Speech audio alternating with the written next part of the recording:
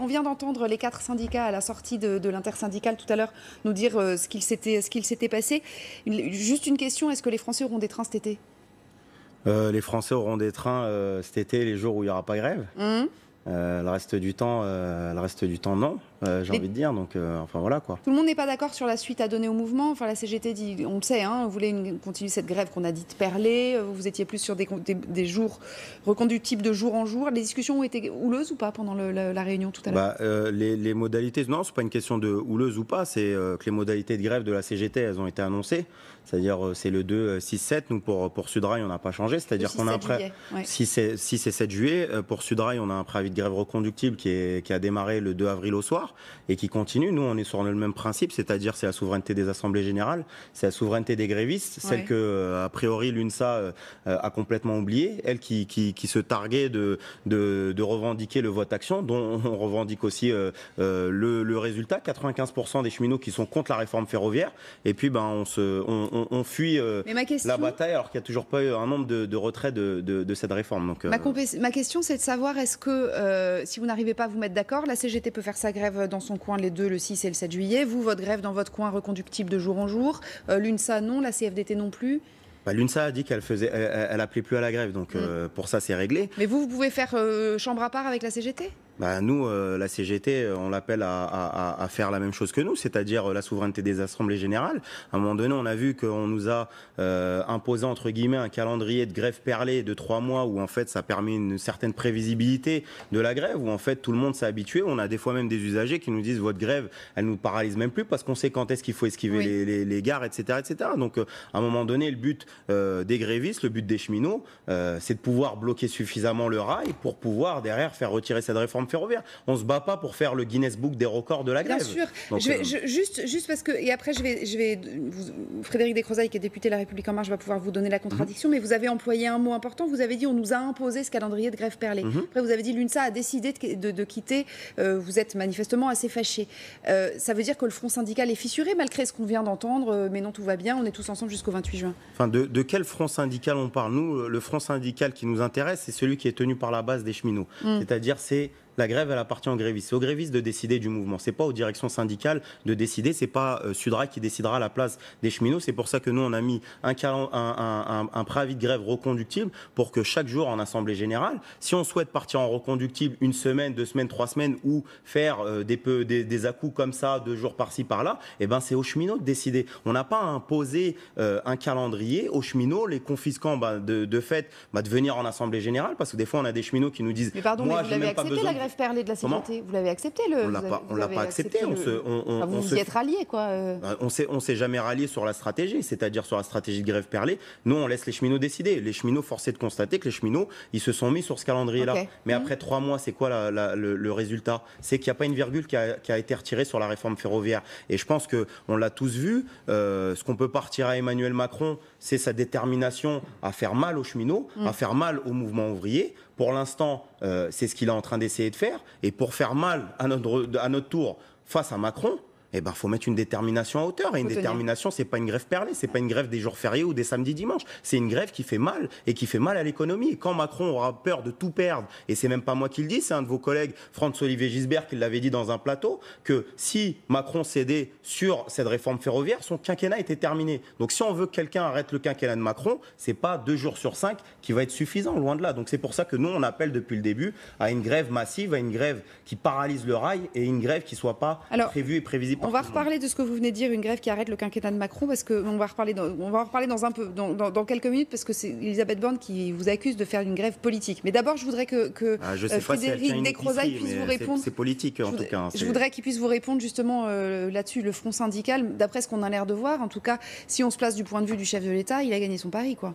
Mais le front syndical, euh, c'est l'affaire des syndicats. Et je parle dans le plus grand respect du droit syndical et de l'engagement syndical. Euh, je m'exprime sans aucun espoir de vous convaincre, vu ce que vous venez de dire, parce que je suis un, peu stupéfait. C'est-à-dire que de toute évidence, cette réforme, on ne va pas la, retirer. Tout le, Parlement et d'ailleurs le gouvernement, elle est passée à 450 voix. Il y a eu 80 contre, plus de 450 pour.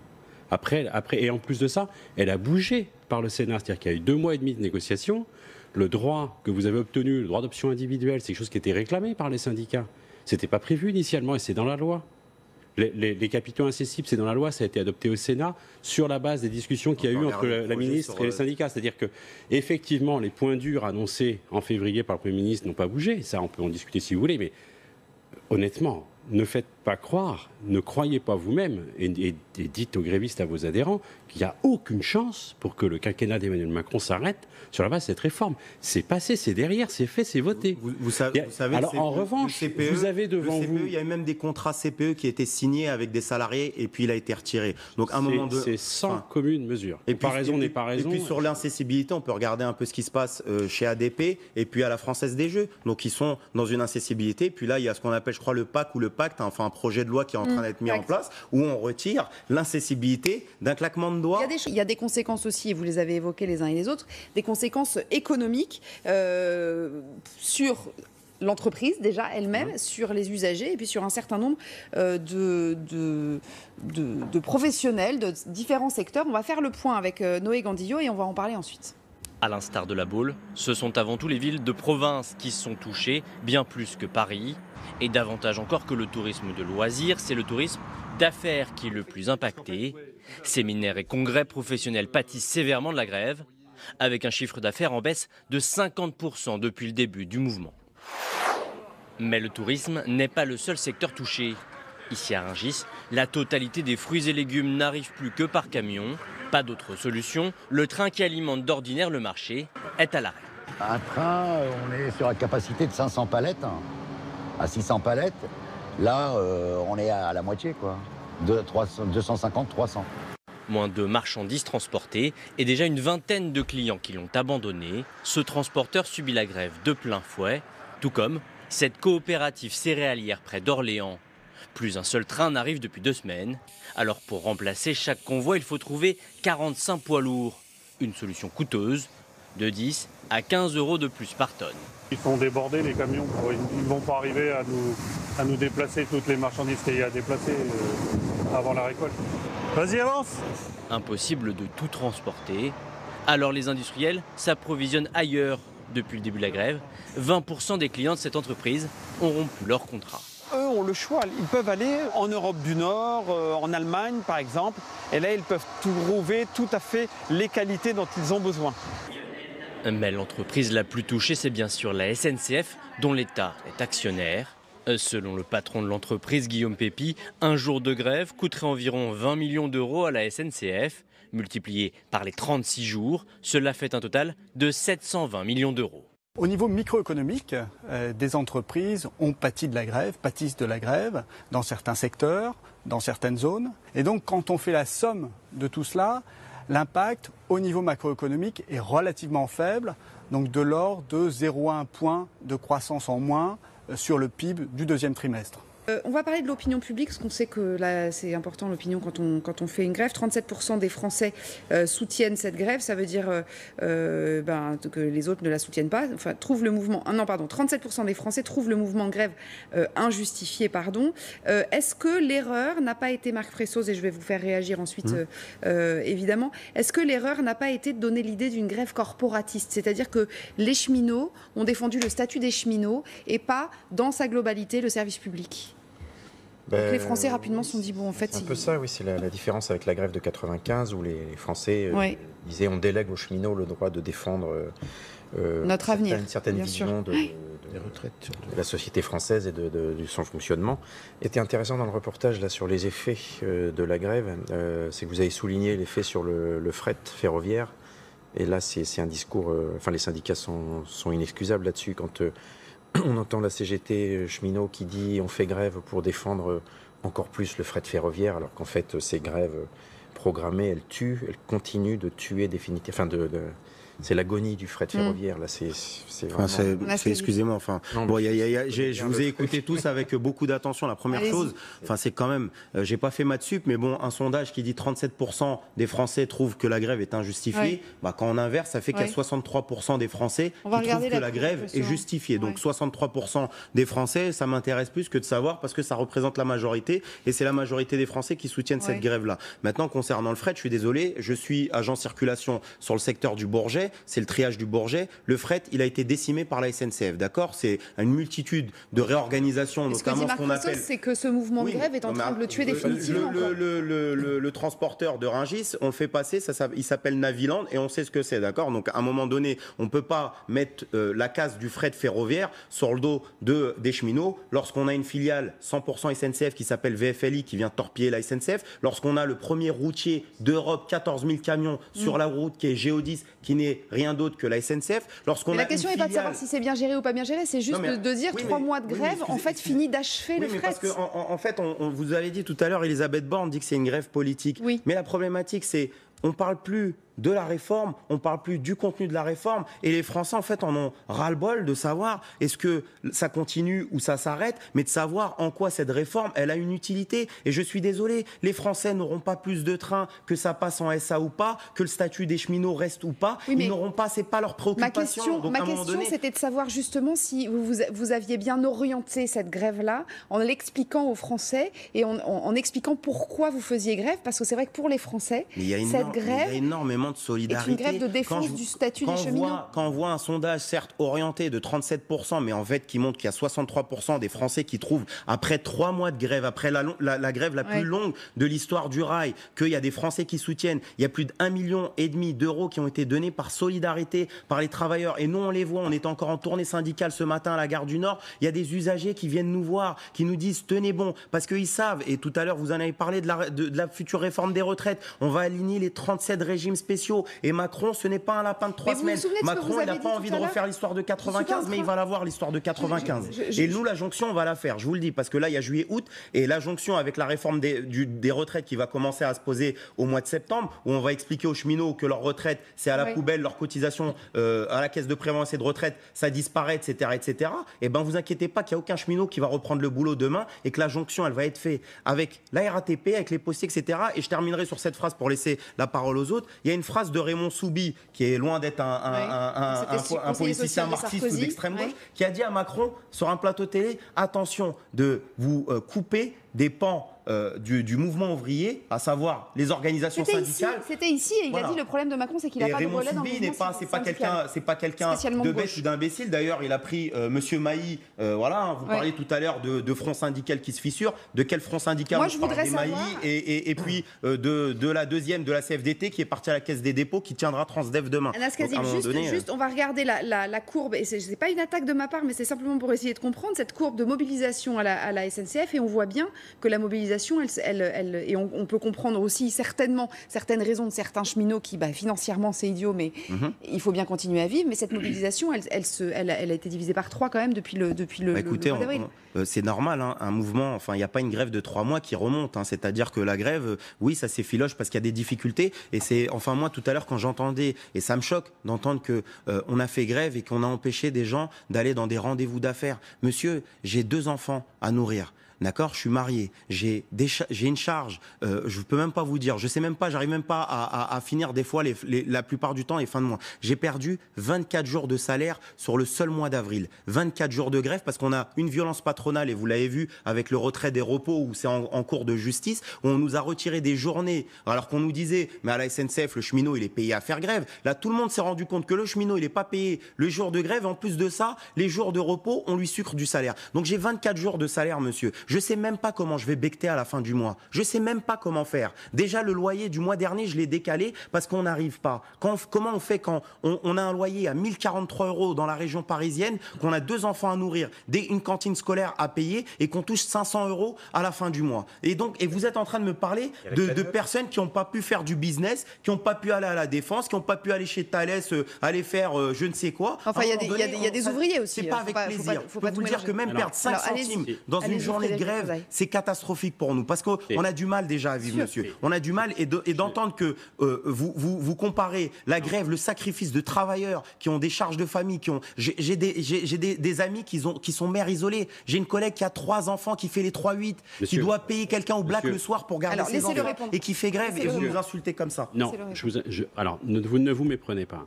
D'abord, bravo pour votre engagement et des bah, syndicalistes, heureusement. J'ai pas, pas l'impression qu'on le remarque. Si, non, non, ne vous méprenez pas. Je pointais le fait que cette grève, elle a un impact. C'est ce que vous cherchez. Elle en a un. Et, les rendez-vous d'affaires dont je parle, ce ne sont pas que des rendez-vous à la défense. Je parle aussi d'artisans. Je parle aussi de, je, parle de toutes sortes de métiers. Il y a aussi des gens qui, qui, qui transpirent, qui travaillent, qui comptent pas leurs heures et qui ont parfois du mal et, ça peut être aussi ça, des rendez-vous, des devis qui ne sont pas faits. C'est ce que je voulais simplement vous dire, monsieur. je, n'oppose pas les Français. Pourquoi c'est Je respecte. S'il vous plaît, laissez-moi parler. Je respecte votre engagement. Je, et même je l'admire. Et heureusement qu'il y a des syndicalistes. Et vous portez quelque chose. Et il n'y a, pas de souci avec ça. Et, et, vous n'avez pas besoin, honnêtement, ne vous méprenez pas. Je méprise absolument pas ce que vous faites. Et j'ai le plus grand respect pour ça. Je disais juste que cette grève, elle a un impact perlée ou pas perlée, elle a un impact. Vous l'avez faite, elle continue et elle nous empoisonne. C'est ce que vous cherchez, c'est votre droit. Parlons-en. vous êtes dans le respect. Edouard Philippe que je ne peux l'être. Bien sûr, bien sûr. a dit, ça n'empêche pas d'en parler. Il a dit je veux bien discuter avec les, avec les organisations pas syndicales. Maintenant, mais qu'est-ce qu'il a dit Ma main restera ferme. Donc à un moment donné, comment vous pouvez dialoguer, discuter avec quelqu'un qui dit ma main restera ferme? Écoutez, lorsque ça m'est arrivé aussi de proposer des réformes de corps d'entreprise dans les organisations que je dirigeais, on peut ouvrir, être ferme et être fermé, ça n'est pas la même chose. Et c'est vrai qu'il y a une partie des Français qui aujourd'hui euh, ne, soutient pas cette grève comme, comme il devrait, bien qu'elle ait une, popularité bien plus grande que ce qu'on dit, parce qu'ils sont dans l'illusion, compte tenu des problèmes que rencontre l'entreprise aujourd'hui, que ça va marcher mieux demain. Mais moi, je, je, je, suis extrêmement sceptique. Comment Il y a aussi des Français qui sont contre parce qu'il y a... Ah, bien sûr, bien sûr. C'est mais, les... non, mais bien entendu. C'est surtout que les Français, ils ne voient pas d'issue avec le début du quinquennat Macron. C'est quoi le début du quinquennat Macron C'est que réformer et casser euh, les acquis sociaux des travailleurs. Enfin, à un moment donné, les gens se rendent compte aussi de ça. C'est pour ça qu'ils soutiennent les Allez-y, Les cheminots ont quand même euh, obtenu au Sénat des garanties. C'est-à-dire que le. le, les, faut excuser. Excusez-moi, mais je. Non, mais, non, mais parce que sinon, vous écoutez jusqu'à 4 h du matin. Mais... Non, mais Vous n'avez pas participé au truc. Mais il y, a il y a deux syndicats qui ont participé, qui ont amené des, amendements. Oui, mais ils ont amené des amendements sur autre chose. Ils n'ont pas amené des amendements sur le cœur de la réforme ferroviaire. On va avoir une convention. Il n'y a pas une virgule qui a bougé. Il y a une convention collective qui reprend. Mais non, mais je sais, rappelez-moi, il y a des ordonnances. Il y a des ordonnances loi travail XXL, comme on les a appelées au mois de septembre qui sont passées. Elles, mettent quoi ces ordonnances? C'est l'inversion de la hiérarchie des normes. C'est-à-dire qu'on pourra s'asseoir sur la convention collective lorsqu'il y aura un accord d'entreprise, même s'il est minoritaire. Et M. Macron, il a fait même mieux les choses, c'est-à-dire qu'ils peuvent même faire passer des accords d'entreprise sans majorité. Et ils peuvent faire autant de référendums qu'il faut jusqu'à que l'accord d'entreprise soit validé. Et M. Macron, il fait tellement bien les choses qu'un référendum en entreprise sur 150 000 cheminots, si demain il y a 10 personnes qui répondent, 10 cheminots qui répondent par un, un référendum par mail, et sur les 10, il y en a, admettons, 8 qui disent on est pour cet accord d'entreprise, et eh ben ces 8 personnes, et ils répondent pour les 150 000 cheminots. Donc on est dans un monde jupitérien où tout est très bien ficelé, où on, ouvre un livre, on le referme, et puis là on ouvre le livre des retraites et on le refermera, et puis on nous expliquera que les 35 heures, et eh ben en Allemagne ils en ont pas, que le SMIC en Éthiopie ils en ont pas, et puis on massacrera les, les cheminots et les travailleurs dans leur ensemble. Donc à un moment donné, la concurrence, et je voulais juste dire quelque chose, mais la concurrence qu'on ne pense pas une seule seconde que la SNCF appelle de ses voeux, que Guillaume Pépi appelle de ses voeux la concurrence sans avoir une arrière-pensée. Le, premier concurrent de la SNCF, ça sera la SNCF, monsieur, et ça sera sa filiale Keolis. Vous avez regardé en Angleterre ce qui se passe avec la privatisation Il y a le président de la filiale de Keolis en Angleterre qui vient de démissionner parce qu'il a dit la privatisation, c'est un chaos, d'accord? Et elle va être renationalisée. Virgin, c'est en train d'être renationalisé. Il y a 70... bah, arrêtez 5 secondes. on parle de l'Europe, mais l'Europe, c'est qui Il faut arrêter, c'est l'Angleterre qui pose...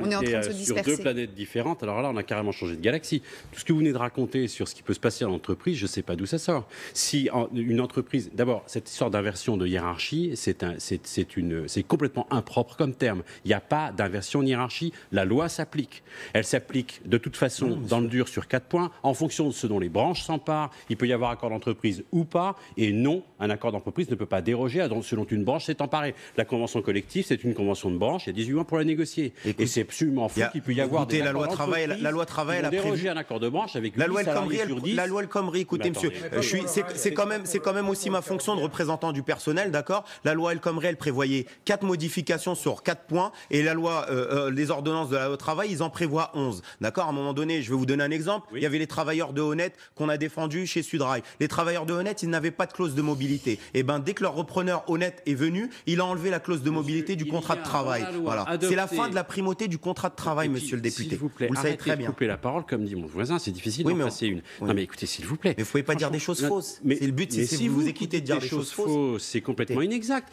Les 4 et les 11, c'est en fonction de ce dont les branches s'emparent. Et c'est faux de prétendre qu'une entreprise peut déroger à la loi par accord, en plus de, de 10 salariés qui se présentent pour 150 000. Mais qu'est-ce que vous Alors, ne déroge pas juste, il reste quelques minutes pour cette émission. J'ai deux questions pour vous, Anas Kazib. Je, sais qu'on ne vous mettra pas d'accord. Deux questions pour vous. La première question, c'est qu'est-ce qui ferait que euh, votre syndicat arrête la grève? Le retrait de la réforme ferroviaire. Du début à la fin de la première à la dernière virgule. Première à la dernière virgule. Et on veut bien euh, s'asseoir pour discuter d'une nouvelle réforme ferroviaire euh, à l'initiative des cheminots, et des usagers. Parce que c'est nous qui faisons le rail tous les jours et c'est les usagers qui l'empruntent. Donc il est hors de question que ce soit euh, l'Europe ou qui que ce soit ou un lobby euh, transporteur qui, qui, qui, va décider à notre place de quelle réforme on doit faire. Si les discussions durent encore 18 mois, il n'y aura, y aura pas de train pendant 18 mois bah, à un moment donné, enfin, je ne sais pas si on est des super-héros pour faire une grève de 18 mois. Je n'ai pas connaissance. Euh, je crois la dernière grève la plus longue, c'était celle de LIP euh, dans les années 70. Maintenant, je ne pense pas qu'il euh, y ait nécessité d'aller 18 mois. Je pense que les cheminots, à un moment donné, ils vont et comprendre qu'il va falloir aller dans le dur. Et aller dans le dur, c'est-à-dire de commencer à parler de grève reconductible dans cette bataille. Et à un moment donné, lorsque le, rail va être paralysé 7 jours sur 7, et eh ben, à un moment donné, il n'y a pas d'Europe et il n'y aura plus d'Europe, ni de Macron, ni quoi que ce soit. on va savoir rechercher les cheminots le problème, c'est que la SNCF a pu anticiper sur les trains qui roulent, les trains qui roulent pas. Et d'ailleurs, quand on prend alors pour euh, bah, quand vous avez 80 de TGV, euh, les trains sont vides. Hein. Bah, écoutez, moi, ma région à Paris Nord, il y avait un train sur 5 encore dimanche lundi. Donc avec un train sur 5 tous les jours, ça va être difficile. De, la CGT, on va voir. Alors, euh, j'ai juste une dernière question. Par rapport à 51 c'est ce que. Bah une dernière question parce que vous nous avez parlé tout à l'heure de votre situation personnelle, qui était d'ailleurs assez émouvant, pardon, de parce que d'ailleurs, monsieur a salué votre engagement. Vous êtes père de famille, vous avez deux enfants. Il y a une cagnotte qui a été euh, mise en place sur Internet. Alors on a regardé, elle est à un peu plus d'un million deux cent mille euros euh, pour le moment, un million deux cent cinquante-neuf mille euros pour être euh, exact. Ça va être redistribué. Comment? Il y a à peu près 30 000 donateurs, hein, 30 000 personnes qui ont, bah, voilà, 31 000 donateurs qui ont donné de l'argent sur cette cagnotte. Est-ce que vous savez comment tout cela va être réparti, bah, réattribué? Est-ce que vous, vous allez pouvoir toucher, par exemple? Ça, paraît, ça paraît être un chiffre énorme. Il mmh. faut savoir qu'il y a, je crois, de mémoire quasiment 80 000 cheminots qui ont fait au moins grève. Donc en 80 000, quand on calcule, là, ça va faire quasiment 36 jours de grève cumulée. Euh, ça fait pas ça fait pas beaucoup. Maintenant, euh, nous, on, tient à, remercier euh, l'ensemble des, des, donateurs de cette solidarité. Je pense que c'est plus le geste qui nous touche plutôt que le fait de, de récupérer l'argent ou quoi que ce soit. Ça va être, c'est, il y a eu donc une association qui a été montée par l'intersyndicale où les gens envoient leurs fiches de paye et les journées de grève qu'ils ont fait. Et puis il y aura à hauteur, ça peut être 5 euros ou 10 euros par jour de grève. À partir de 4 jours de grève. À partir de 4 hein, jours de grève. Donc en fonction du nombre de personnes qui demandent la solidarité de cette caisse, et ça sera redistribué. Maintenant, c'est rien à côté de. comme on le dit, nous, notre meilleure caisse de grève, c'est de garder nos acquis sociaux. Parce que je peux vous dire que demain, quand la caisse de prévoyance et de retraite, elle tombera, c'est quasiment 400 à 500 euros de pension de retraite en moins. Très simplement, chez les cheminots, c'est les six derniers mois à 75%. La sécurité sociale, c'est les 25 meilleures années à 50%. Donc c'est le, les travailleurs marocains, comme on les a appelés, là, les Chibani, mmh. euh, qui ont cette, ce salaire-là de, de retraités de la SNCF. Et c'est quasiment 400 à 500 euros de pension de retraite. Vous savez, sur 20 ans, 30 ans de carrière à la retraite, ça fait combien? Ça fait quasiment 200 000 à 300 000 euros. Mmh. C'est-à-dire qu'il n'y a aucun cheminot et cette caisse de grève là, de la retraite, de nos acquis sociaux, on peut donner ce qu'on veut, la réalité, c'est qu'on a besoin aujourd'hui que les travailleurs ils ne fassent pas uniquement euh, une grève par procuration, mais qu'ils nous soutiennent et qu'ils rentrent dans la bataille parce que demain, Macron va s'occuper aussi d'eux et il va commencer par la RATP, l'EDF, les postiers, etc. Et tout le monde doit rentrer dans la bataille aujourd'hui. Alors, en tout cas, dernier jour pour le moment de grève, de cette grève perlée, c'est le 28 euh, juin, c'est bien mhm. ça. Euh, ensuite, vous. 27 et 28. 27 et 28. Vous, vous plaidez pour qu'il y ait une, une grève dure, c'est-à-dire reconductible jour après jour. Quand la CGT veut continuer une grève perlée, il y a déjà prévu trois jours au mois de, juillet. Les deux pas annoncé le calendrier, déjà, c'est ce qu'on peut reconnaître, c'est-à-dire qu'il va y avoir déjà un peu, un peu moins de prévisibilité. Bien, merci beaucoup en tout cas à tous les quatre d'être venus pour cette émission euh, animée. J'espère qu'on aura fait avancer euh, le débat. Pour ce qui vous concerne, passez une bonne soirée.